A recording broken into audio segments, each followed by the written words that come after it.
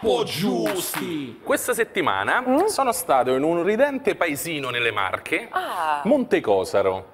E sono andato a trovare, sì Carlo, c'è una bella sorpresa anche per te, insomma. Eh, siamo andati insomma, a trovare un nostro grande amico, nel senso amico perché è un grande collezionista di mh, bozzetti. Ah. Credo forse uno dei più grandi collezionisti al mondo di bozzetti, È l'unico, Paolo. è l'unico. È l'unico. Guarda, ti ho, ti ho portato sì, delle immagini e c'è una grande sorpresa E anche per allora Carlo. andiamo. Insomma, vai, guarda. Dove ci troviamo qui?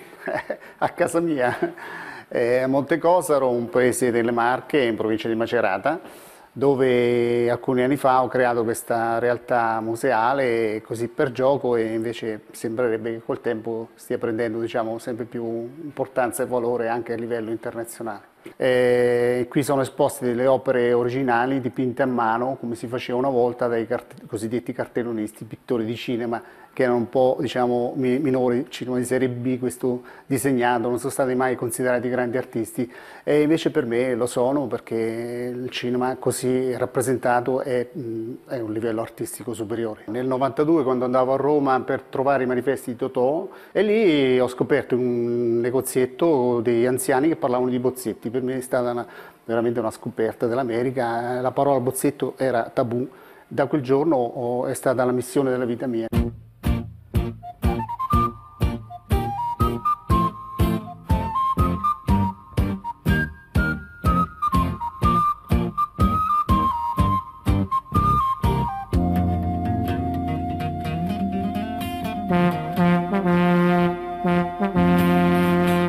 Stanza Verdone, eh, il penultimo ospite che è stato qui prima di Giannini è stato Carlo Verdone a marzo dell'anno scorso, eh, quindi a lui abbiamo dedicato questa stanza piena di memorabilia, diciamo dal flipper a... E questo è il flipper originale di Troppo Forte. questo è il flipper originale di Troppo Forte. Puffo, Quello- quello che ce l'ha una penna. Oscar 99 995.000. In questo caso sono due artisti, Borotalco eh, di Enzo Sciotti e invece un sacco bello, Bianco Rosso Verdone eh, di Renato Casaro. Quando Carlo è venuto qua, che cioè, è stata un'emozione pure per lui, credo, no?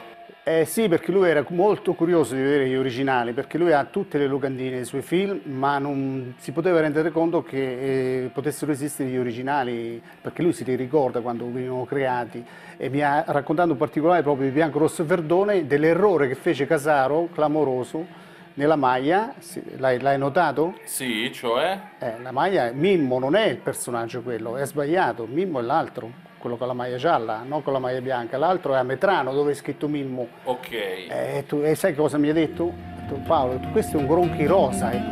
Ma Paolo, sei troppo forte. È stato il Verdone Day là a Montecosa, è stato veramente un bagno di folla, di, di- di- di- di affetto, veramente. Mi sono commosso perché non ho mai visto una persona così, così rispettosa della storia del cinema, della commedia, ma non solo.